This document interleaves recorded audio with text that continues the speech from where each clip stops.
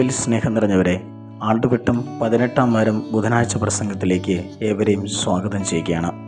നമുക്ക് അനുദിന വിശുദ്ധന്റെ കുഞ്ഞു ചിന്തയോടുകൂടെ നമുക്ക് ഇന്നത്തെ വിചിന്തനം ആരംഭിക്കാം. ഇന്ന് സഭാമാതാവ് ഓർക്കുന്നത് ഇറ്റലിയിലെ വിശുദ്ധ കജറ്റീൻ എന്ന് പറയുന്ന വിശുദ്ധിനെയാണ്. വിശുദ്ധിന് ഏറ്റവും കൂടുതലുണ്ടായിരുന്നത് ദൈവമാതാവിനോടുള്ള ഭക്തിയായിരുന്നു. അതിന് സമ്മാനമായി ഒരു ക്രിസ്മസിന്റെ തലേന്ന് അദ്ദേഹത്തിന്റെ കരങ്ങളിൽ ദൈവമാതാവ് ഉണ്ണീശയെ വച്ചു കൊടുക്കുന്ന ചരിത്രം നമുക്ക് ഉണ്ട്. പരിശുദ്ധ അമ്മ കയ്യിൽ ഈശോ അത് ഈശോ അല്ലാതെ രക്ഷയില്ല. മരീഭക്തിയുടെ ഏറ്റവും പ്രധാനപ്പെട്ട ഒരു ഘടകവും അതുതന്നെയാണ് നമ്മുടെ വിശുദ്ധം നൽകുന്ന മാതൃക അമ്മയോട് ചേർന്ന് നിൽക്കുക എന്നുള്ളതാണ്. സഭയും പരിശുദ്ധ കുർബാനയും എന്ന ലേഖനത്തിൽ ജോൺ ബോൾ രണ്ടാമൻ പാപ്പ മറിയത്തെക്കുറിച്ച് വളരെ വാചാലനാകുന്നുണ്ട്. പരിശുദ്ധ അമ്മയെക്കുറിച്ച് ഇപ്രകാരം പറയുന്നുണ്ട്. അവൾ സഞ്ചരിക്കുന്ന സക്രാരി എന്ന ഒരു സംഭവം ഓർക്കുകയാണ്. ഒക്ടോബർ മാസത്തിൽ ജപമാല വാരത്തിൽ ഒരു രോഗിയായ ക്യാൻസർ രോഗിയായ ഒരാൾ വന്നിട്ട് പ്രാർത്ഥിക്കാനായിട്ട് ആവശ്യപ്പെടുകയാണ്. തിരിച്ച് ജപമാല പ്രാർത്ഥന ചൊല്ലി പ്രാർത്ഥിക്കുവാനായിട്ട് പറയുന്നുണ്ട്. കഴിഞ്ഞ ഡിസംബർ മാസത്തിൽ ഹോസ്പിറ്റലിൽ ക്യാൻസറിന്റെ ചികിത്സയ്ക്കായിട്ട് അഡ്മിറ്റ് ചെയ്യാൻ പോകുന്ന സമയത്ത് സ്കാനിങ് ചെയ്തപ്പോൾ ആ വ്യക്തിയുടെ ശരീരത്തിൽ ക്യാൻസർ ഇല്ല പൂർണമായിട്ടും മാറ്റിയിരിക്കുന്നു. അത് പരിശുദ്ധ അമ്മയുടെ കൃപയാലാണെന്ന് പിന്നീട് സാക്ഷ്യപ്പെടുത്തിയത് ഇപ്പോൾ ഇവിടെ ഓർത്തു പോവുകയാണ് നമുക്ക് ഫ്രാൻസിസ് പാപ്പ പറയുന്നത് ഓർക്കാം. ജപമാല തുടങ്ങുമ്പോൾ ജപമാല പ്രാർത്ഥന തുടങ്ങുമ്പോൾ നമ്മൾ ജപമാലയിൽ പിടിക്കുന്നു. ജപമാല പ്രാർത്ഥന തീരുമ്പോൾ മറിയം നമ്മുടെ കയ്യിൽ പിടിക്കുന്നു. അതെ നമുക്കൊരാശ്വാസം എനിക്കും ഈശോയ്ക്കും ഒരേ അമ്മ എന്നതാണ്. ഈ വിശുദ്ധൻ മരണക്കിടക്കിൽ കിടന്ന് ഇപ്രകാരം പ്രാർത്ഥിക്കുന്നുണ്ട്. നാഥേ പരിശുദ്ധ അമ്മേ എന്നെ ആശീർവദിക്കണമേ. അതിന് മറുപടിയായി പരിശുദ്ധ അമ്മ പറയുന്നത് ഇതാണ്. ആ കജറ്റിന്റെ പ്രാർത്ഥനയ്ക്ക് മറുപടിയായിട്ട് അമ്മ പറയുകയാണ് സ്വർഗത്തിലേക്ക് നിന്നെ ആനയിക്കാൻ ഞാൻ ഇവിടെ ഉണ്ട് എന്നാണ്. മാതാവിന്റെ നീല കവചത്തിൽ സുരക്ഷിതരാണ് നമ്മൾ. വിശുദ്ധ വിൻസെന്റ് ഇപ്പോൾ പറയുന്നത് ഓർക്കുക. എല്ലാ ദിവസവും കന്യകമറിയത്തിന്റെ സംരക്ഷണം നമുക്കുണ്ട്.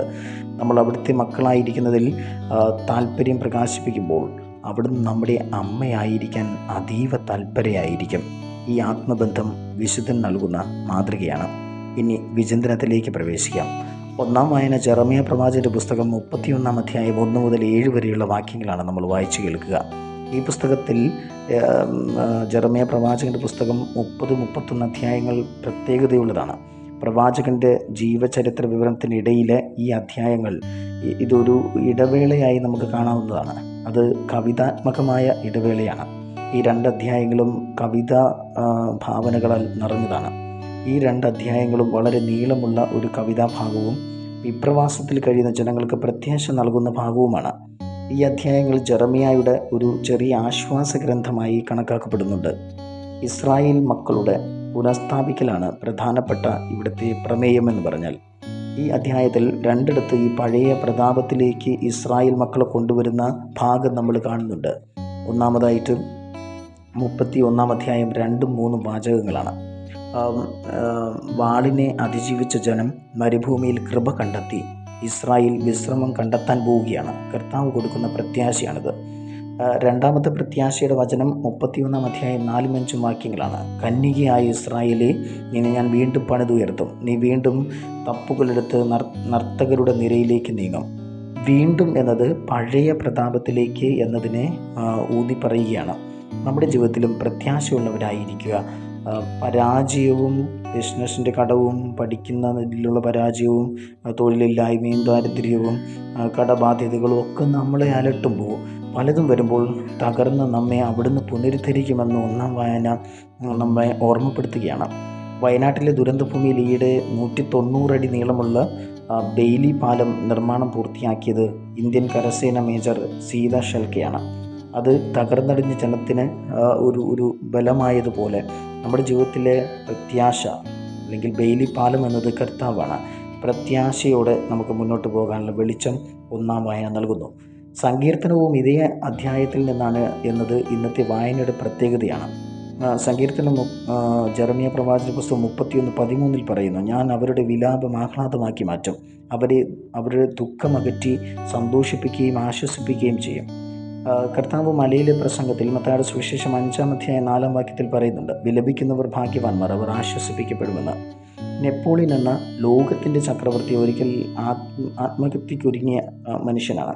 അവിടെ കൈത്താങ്ങാകുന്നത് ഒരു അധ്യാപികയുടെ ഇടപെടലാണ്. നിരാശ പ്രത്യാശയാകും.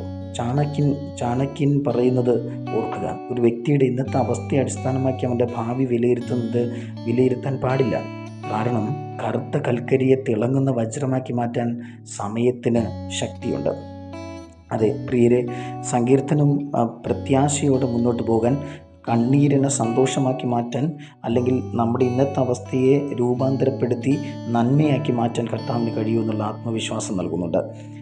നഷ്ടപ്പെട്ടു പോയതിനെ കണ്ടെത്തുന്ന കർത്താവിന്റെ മുഖമാണ്. ടയർ സീതോൻ യാത്രയിൽ വിജാതി സ്ത്രീയുടെ വിശ്വാസം സാക്ഷ്യപ്പെടുത്തുന്നതാണ് സുവിശേഷ ഭാഗപ്പെട്ട് നമ്മൾ വായിച്ചു കേൾക്കുന്നത് മത്തായുടെ സുവിശേഷം പതിനഞ്ചാം അധ്യായം ഇരുപത്തൊന്ന് മുതൽ ഇരുപത്തെട്ട് വരെയുള്ള വാക്യങ്ങൾ. ഇവിടെ സ്ത്രീയുടെ വിശ്വാസത്തെയാണ് കർത്താവ് സാക്ഷ്യപ്പെടുത്തുന്നത്.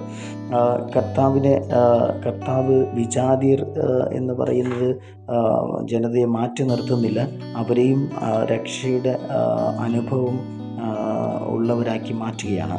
രക്ഷയുടെ ഫലം ഉള്ളവരാക്കി മാറ്റുകയാണ്. അടിസ്ഥാനപരമായി ഗ്രീസിലെ ആൾക്കാരെയാണ് ഈ വിജാതിയർ എന്ന് പറയുന്ന പദം ഉദ്ദേശിക്കുന്നത്. സക്രിയ പ്രവാചന പുസ്തകം ഒമ്പത് പതിമൂന്നിൽ സിയോനെ നിന്റെ പുത്രന്മാരെ ഞാൻ ഗ്രീസിന്റെ പുത്രന്മാരുടെ നേരെ ചുഴറ്റും എന്ന വാക്ക് ആ ഗ്രീസിന്റെ പുത്രന്മാർ വിജാതിയർ എന്ന ഒരു അർത്ഥത്തിലാണ് ഉപയോഗിച്ചിരിക്കുന്നത്. ഈ സക്കറിയ പ്രവചന പുസ്തകം പതിനൊന്ന് ഏഴിലെ ഒരു ചിത്രം ഇവിടെ നമുക്ക് ഓർമ്മ ഓർമ്മപ്പെടുത്തുകയാണ്. ഇടയൻ രണ്ട് വടി എടുക്കുന്നു.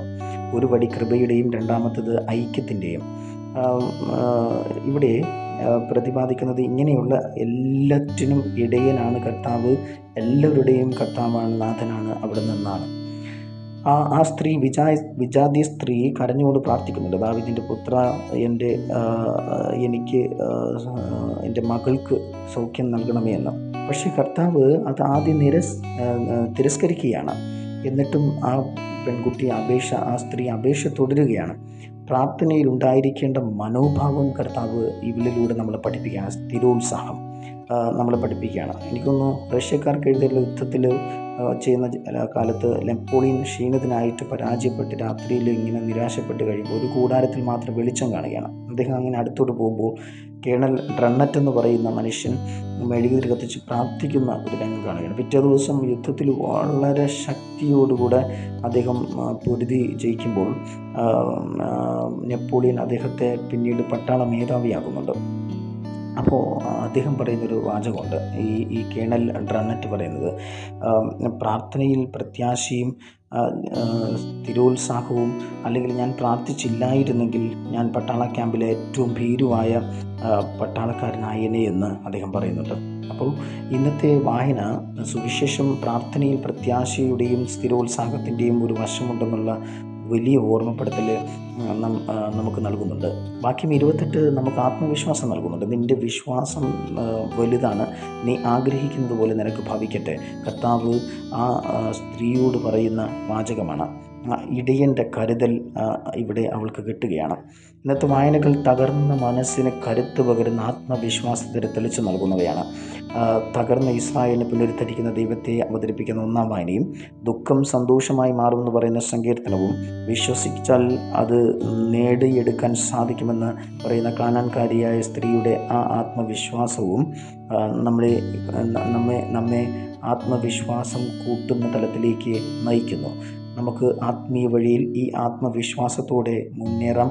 തകർന്നടിയുന്നിടത്ത് കർത്താവ് പുനരുദ്ധരിക്കും എന്നും ദുഃഖത്തെ സന്തോഷമാക്കി മാറ്റുമെന്നും അതുപോലെ തന്നെ നമ്മൾ വിശ്വസിച്ചാൽ എന്തും നടക്കുമെന്നും ഉള്ള ആത്മവിശ്വാസത്തോടുകൂടെ നമുക്ക് മുന്നോട്ട് നീങ്ങാം. സർവശക്തനായ ദൈവം നമ്മെ അനുഗ്രഹിക്കട്ടെ.